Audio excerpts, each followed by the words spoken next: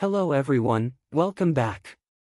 Today, we're diving deep into the fascinating world of computer memory.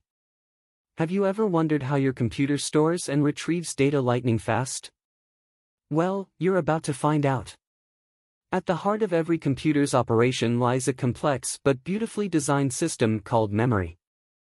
It's the digital brain that makes everything possible, from running apps and games to storing your precious files.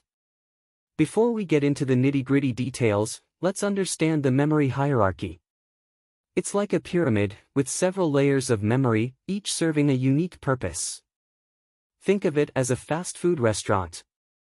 Registers are the cashiers who take your orders super quickly.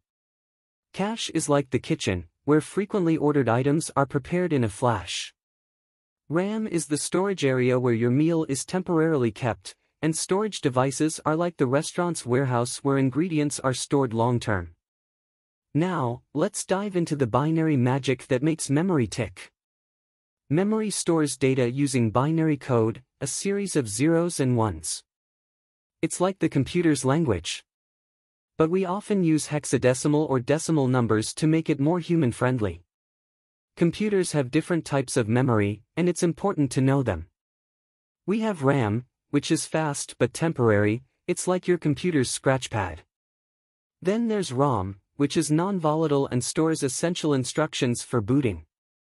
Storage-wise, we have SSDs, super fast and reliable, and HDDs, the classic spinning drives with vast storage capacity. So, how does your computer store and access data so quickly? RAM acts as a bridge between storage and the CPU.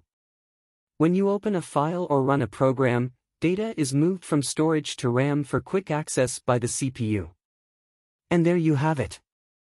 A glimpse into the fascinating world of computer memory. It's the backbone of your digital experience, allowing your computer to work its magic.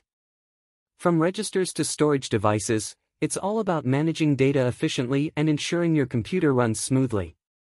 If you found this video informative and intriguing, don't forget to give it a thumbs up and subscribe for more tech insights. And as always, if you have questions or topics you'd like us to cover, leave them in the comments below. Thanks for joining me today, and I'll see you in the next video.